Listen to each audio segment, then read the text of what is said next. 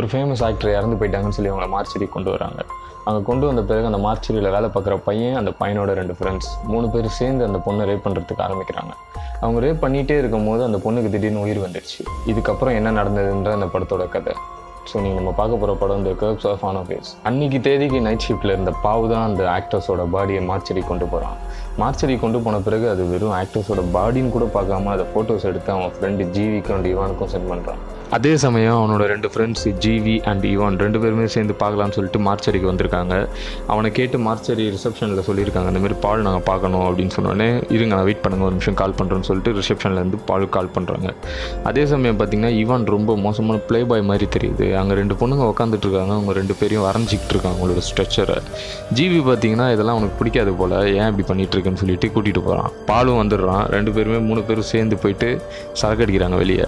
அடிக்கும் போது இவான் கேட்குறான் நீ வந்து அந்த பாடியோட ஃபோட்டோஸ் அனுப்புன அந்த ஆக்டர்ஸோட ஃபோட்டோ என் ட்ரெஸ் இல்லாமல் ஏன் நீ அனுப்பல? அப்படின்னு சொல்லி கேட்குறான் அதுக்கு பால் சொல்கிறான் அதான் நம்ம பிரச்சனை. இப்போ வா அவனை நேர்லேயே கூட்டிகிட்டு போய் காட்டுறேன் அப்படின்னு சொல்லி கூட்டிகிட்டு போகிறான் பால் இப்போ அந்த பொண்ணோட பாடி கிட்ட வந்து இவங்க ரெண்டு பேரையும் கூட்டிகிட்டு வந்திருக்கான்.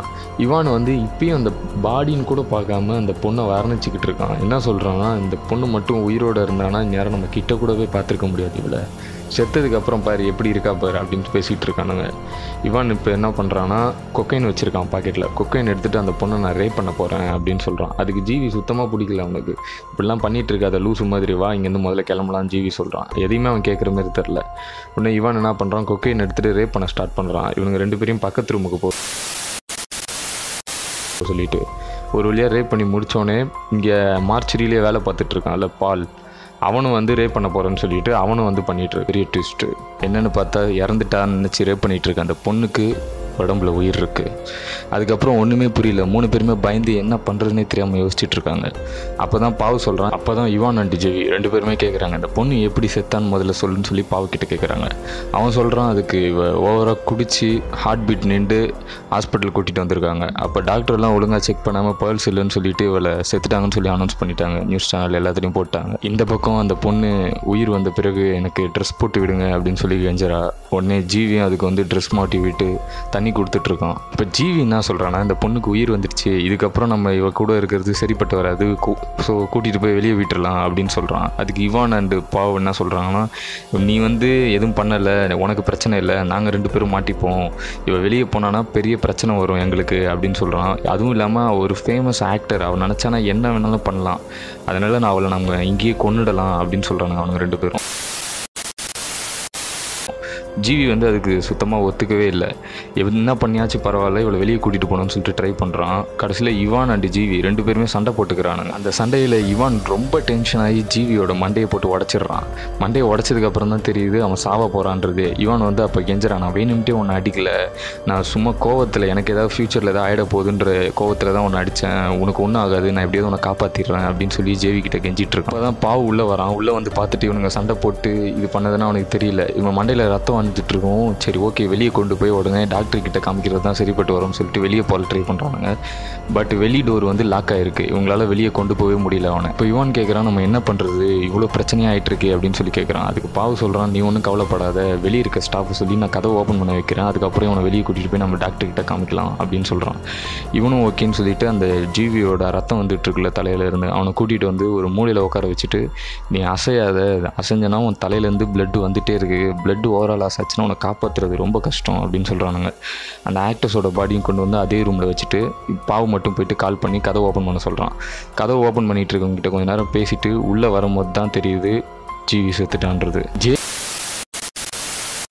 தேவி செத்ததுமே பாவுக்கு என்ன பண்ணுறதுன்னு தெரியல. உட்காந்து ஒரே அழ ஆரம்பிச்சிடுறான். அப்போ இவான் சொல்கிறான் இது ஒன்றும் பிரச்சனை கிடையாது. ஜேவியோட பாடியை கொண்டு போயிட்டு நம்ம குப்பை தொட்டி மூலமாக எடுத்துகிட்டு போய் வெளியே போட்டுடலாம்.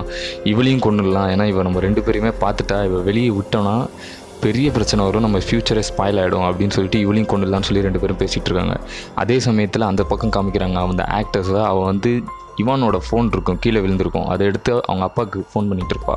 இவனுங்க ஓடி வந்து ஃபோனை பிடிங்கிட்டு கேட்பானுங்க யாருக்கு என்ன ஃபோன் பண்ணேன்னு? கேட்கும்போது நான் எதுவும் பண்ணல.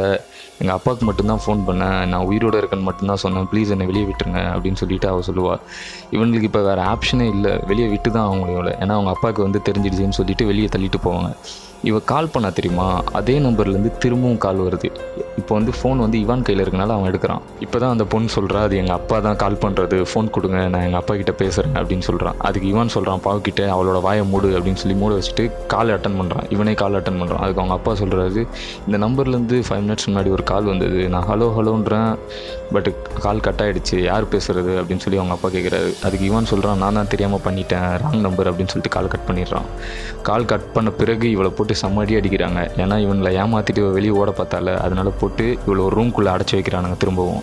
இப்போ இவான் பாவு கிட்ட சொல்கிறான் இந்த பொண்ணோட வாய் கை எல்லாத்தையும் கட்டி போட்டு இந்த ரூமில் அடைச்சி வை. நான் போயிட்டு ஜீவியோட பாடியை எடுத்துகிட்டு போகிறதுக்காக கீழே போய் குப்பை தொட்டி எடுத்துகிட்டு வரேன் அப்படின்னு சொல்லிட்டு போகிறான் பாவும் வந்து டேப்பு க கயிறு எல்லாத்தையும் போட்டு அவளை கட்டிகிட்டு இருக்கான். அப்போ தான் அவள் சொல்கிறான் ஜீவி வந்து நார்மலாக சாவலை. உன் ஃப்ரெண்டு இவான் தான் கழுத்தை நெரிச்சு கொன்னான் அப்படின்னு சொல்கிறான் அதுக்கு பாவு வந்து நீ சொல்கிறது எதையும் நம்ப முடியல என்னால். அதனால் வந்து டேப் போட்டுட்டு கையை கட்டிட்டு அவன் வெளியே போயிடுவான். இவன் என்ன பண்ணுவான்னா தவழ்ந்து தவழ்ந்து அங்கேருந்து பக்கத்து ரூமுக்கு போயிடுவான் கீழே குப்பை தொட்டி எடுக்க போன இவான் மேலே வந்துடுவான் வந்து பார்த்தா பொண்ணு இருக்காது. உடனே வந்து பாவை போட்டு கத்துவான். கூடயே இருந்து பார்த்துக்க தானே சொல்லிட்டு போனேன் எங்கே போனேன் அப்படின்னு சொல்லி தேடிட்டு இருப்பானுங்க. ரெண்டு பேருமே தேடும் போது பார்த்தா ஒரு லிஃப்ட்டுக்குள்ளே போயிட்டு பட்டன் அழுத்திட்டு டோர் க்ளோஸ் ஆகிற டைமில் வந்து இவன் வந்து காலை பிடிச்சி தர தர தரன்னு இழுத்துட்டு போயிடுவான். அதுக்கப்புறம் இவன் வந்து பாவுக்கிட்ட சொல்கிறான் இந்த பொண்ணை நீ தான் கொல்லணும். ஏன்னா ஆல்ரெடி நான் ஜேவியை கொண்டுட்டேன் இப்போ வந்து நீ இந்த பொண்ணை கொண்டனா போலீஸ்காரங்க பிடிச்சா கூட நம்ம ரெண்டு பேருமே யாரையுமே காட்டி கொடுக்காம இருந்துப்போம். அதான் நமக்கு சேஃப்டி அதனால் இந்த பொண்ணை நீ தான் கொள்றேன்னு சொல்லி பாவு கையில் ஒரு பில்லோவை கொடுக்குறான். பாவு அதெல்லாம் என்னால் பண்ண முடியாது. எல்லா கொள்ளையும் நீனே பண்ணிக்கோ. என்னாலனா கொலைனா பண்ண முடியாதுன்னு அழுக ஆரம்பிச்சிடுறான்.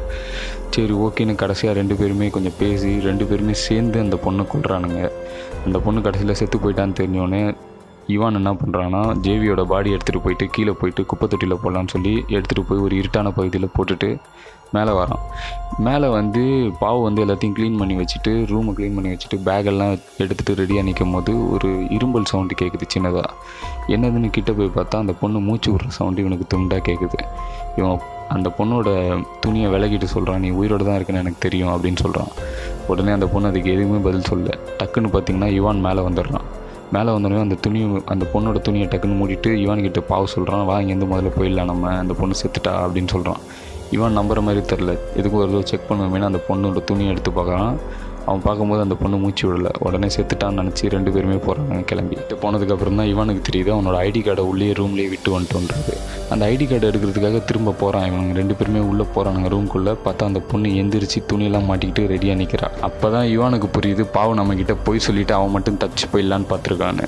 இவான் வந்த டென்ஷனுக்கு போட்டு பாவை போட்டு அடிக்க ஆரம்பிக்கிறான்.